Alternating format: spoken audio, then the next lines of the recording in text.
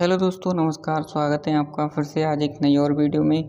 दोस्तों, अगर आप भी अपना आयुष्मान कार्ड किसी भी सीएससी सेंटर पर या फिर दोस्तों किसी भी जनसेवा केंद्र सरकारी अस्पताल में बनवा आए थे, लेकिन आपको ये नहीं पता है कि आपका आयुष्मान कार्ड अभी बना है या फिर नहीं बना है तो आज की वीडियो में आपको बताऊँगा कि अगर दोस्तों आपका आयुष्मान कार्ड बन गया है तो उसका स्टेटस भी आप चेक कर सकते हैं। साथ ही साथ दोस्तों, अगर आपका आयुष्मान कार्ड बन गया होगा तो वहीं से आप उस लिंक पर क्लिक करके अपने आयुष्मान कार्ड को डाउनलोड भी कर सकते हैं। दोस्तों, ये नया पोर्टल है आयुष्मान कार्ड का। इसके तहत दोस्तों अपना आयुष्मान कार्ड का स्टेटस भी चेक कर सकते हैं और साथ ही साथ दोस्तों हम अपने आयुष्मान कार्ड को वहाँ से डाउनलोड भी कर सकते हैं। तो उसके लिए दोस्तों, आपको क्या करना होगा, इस पोर्टल पर विज़िट करना होगा, जिसके लिए आपको अपने ब्राउज़र में टाइप करना है beneficiary dot N H A dot G O V dot in जैसा कि दोस्तों, मैंने यहाँ पर टाइप किया है, इस वेबसाइट को आपको इसी तरीके से टाइप करना है।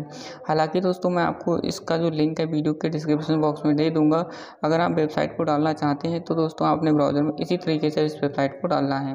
उसके बाद यहाँ पर दिया गया है, अब आयुष्मान कार्ड बनाना हुआ और भी आसान। अब लाभार्थी U T I T S L केंद्रों पर भी P M J A Y के तहत अपना आयुष्मान कार्ड बनवा सकते हैं। यानी कि जो भी दोस्तों पैन कार्ड बनाते हैं, जो लोग यू टी आई के माध्यम से, उनके पास भी दोस्तों अपना आयुष्मान कार्ड भी बनवा सकते हैं। तो यहाँ पर दोस्तों कुछ इस तरीके से एक नया इंटरफेस ओपन होकर आएगा यहाँ पर दोस्तों आपको दो तो ऑप्शन मिलेंगे नंबर एक बेनिफिशरी नंबर दो ऑपरेटर तो आपको बेनिफिशरी वाला ऑप्शन ही चूज़ रहने देना है एंड उसके बाद आपको अपना जो मोबाइल नंबर है, वो यहाँ पर फिल कर देना है। तो मैं यहाँ पर मोबाइल नंबर को फिल कर देता हूँ और उसके बाद आपको वेरीफाई वाला जो यहाँ पर बटन मिलता है, इस पर आपको क्लिक कर देना है। दोस्तों, मोबाइल नंबर फिल करने के बाद आपको इस वेरीफाई वाला जो यहाँ पर बटन दिया गया है, इस पर आपको क्लिक कर देना है। जैसे आप वेरीफाई वाले बटन पर क्लिक करेंगे तो दोस्तों, जो आपने यहाँ पर मोबाइल नंबर को फिल किया है, उस पर एक ओटीपी सेंड किया जाएगा। तो यहाँ पर दोस्तों ओटीपी है सेंड कर दिया गया है। ओटीपी दोस्तों, हमारा आ चुका है। यहाँ पर कुछ इस तरीके से दे सकते हैं। हमारा जो ओटीपी है, यहाँ पर आ चुका है। हम ओटीपी को यहाँ पर फिल कर देते हैं।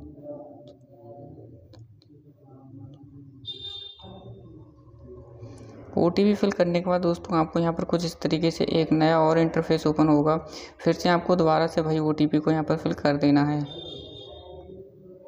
ओटीपी फिल करेंगे, उसके बाद आपको यहाँ पर मिलेगा एक कैप्चा फिल करने का ऑप्शन इस कैप्चा को आपको इस वाले बॉक्स में फिल कर देना है। उसके बाद आपको लॉगिन वाले बटन पर क्लिक कर देना है। कैप्चा दोस्तों मैं यहाँ पर फिल कर देता हूँ।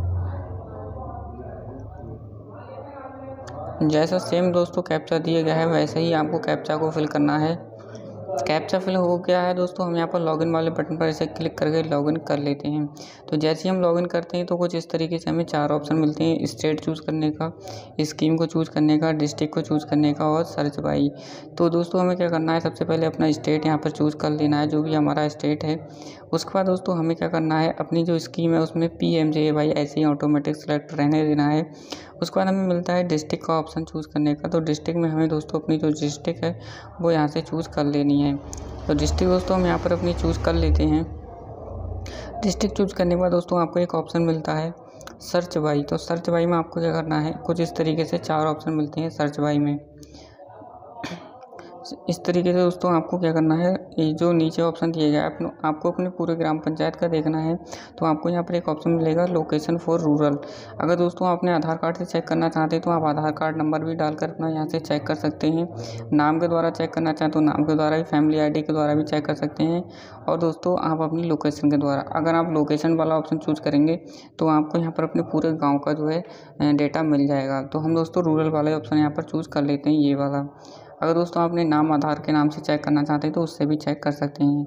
जैसे हम इस पर क्लिक करते हैं तो दो ऑप्शन और मिलते हैं सब डिस्ट्रिक्ट चूज़ करने का, और एक और ऑप्शन मिलता है आपको विलेज चूज़ करने का।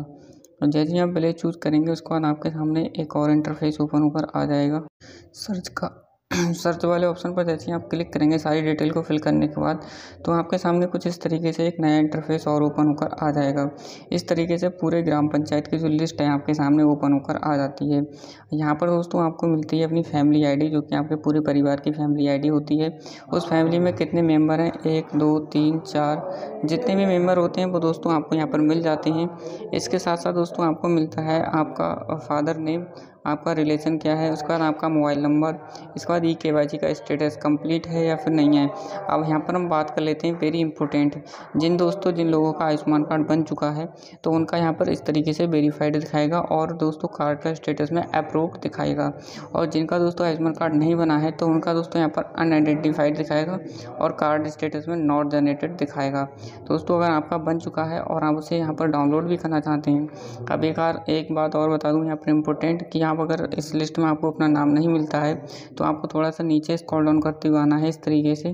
तो आपको यहाँ पर बहुत सारे पेज दिए होंगे, जैसे कि पेज नंबर एक दो, तीन, चार, पाँच छः इसी तरीके से यहाँ पर पिछहत्तर पेज दिए गए हैं। तो टोटल पेज आपको देखना है अपना नाम। अगर दोस्तों आपको इस लिस्ट में अपना नाम नहीं मिलता है तो आप अपने Aadhaar card number, mobile number जो कि मैंने शुरू से ही बताया था, उससे चेक भी कर सकते हैं। तो वन बाई वन आपको पेज सेकेंड थर्ड फोर्थ करके आपको पूरा देख लेना है। लगता है आपको अपना जो मान लीजिए अगर दोस्तों आपका जो है आयुष्मान कार्ड बन चुका है तो आपको यहाँ पर क्या करना है? वेरीफाइड लिखा हुआ, उसका अप्रूव लिखा है। और साथ ही साथ दोस्तों यहाँ पर एक डाउनलोड का ऑप्शन दिया गया है। तो आपको करना है, इस डाउनलोड वाले बटन पर ही क्लिक कर देना है। जैसे ही डाउनलोड वाले बटन पर क्लिक करेंगे तो दोस्तों आपका आधार कार्ड का नंबर जो है ऑटोमेटिक यहाँ के लास्ट के फोर जेड दिखाएगा। तो आपको क्या करना है, इस वेरीफाई वाले बटन पर क्लिक करना है और यहाँ से ओटीपी का ऑप्शन मिल जाएगा। तो ओ टी यहाँ पर सेलेक्ट करेंगे और ऑथेंटिकेट वाले बटन पर क्लिक करके ओटीपी के द्वारा आप अपने आयुष्मान कार्ड को यहाँ से आसानी से डाउनलोड कर पाएँगे। तो मैं यहाँ पर दोस्तों आयुष्मान कार्ड डाउनलोड करके भी आपको यहाँ पर दिखाने वाला हूँ। चलिए दोस्तों हम यहाँ पर वेरीफाई वाले बटन पर क्लिक कर देते हैं। यहाँ पर वेरीफाई करेंगे तो दोस्तों इस तरीके से टर्म एंड कंडीशन आई, आपको यस करना है और अलाउ कर देना है। उसके बाद दोस्तों ओटीपी जो है आपके मोबाइल फ़ोन में चली जाती है। ओ टी आपको क्या करना है? यहाँ पर डाल देना है इस वाले बॉक्स में और उसके बाद अथेंटिकेट वाले बटन पर क्लिक कर देना है। तो यहाँ पर दोस्तों जो आधार कार्ड नंबर है, इस पर इनका जो मोबाइल नंबर है लिंक नहीं है। तो दोस्तों इनका जो है ओ नहीं जा रहा। अगर आपका भी लिंक नहीं है तो आपकी भी ओटीपी नहीं जाएगी। सिर्फ़ आप यहाँ से चेक कर सकते हैं कि आपका आयुष्मान कार्ड बना है या फिर नहीं बना है। अगर आपके आधार कार्ड पर जो है मोबाइल नंबर रजिस्टर है तो आपके मोबाइल पर ओ चली जाएगी। उसके बाद आपको अथेंटिकेट करके अपना जो है आयुष्मान कार्ड डाउनलोड कर लेना है। तो आई होप दोस्तों आप समझ गए होंगे आप किस प्रकार से अपने आयुष्मान कार्ड का स्टेटस साथ ही साथ दोस्तों आप अपने आयुष्मान कार्ड को डाउनलोड कैसे कर सकते हैं इस नए पोर्टल के माध्यम से। तो आशा करता हूँ आज की वीडियो से आप संतुष्ट होंगे सेटिस्फाई होंगे। वीडियो पसंद आई होगी तो वीडियो को लाइक ज़रूर करें। और दोस्तों अगर आप इसी प्रकार की नई से नई वीडियो देखना चाहते हैं तो चैनल को सब्सक्राइब वाले बटन पर क्लिक करके चैनल को सब्सक्राइब ज़रूर करें। Thank you so much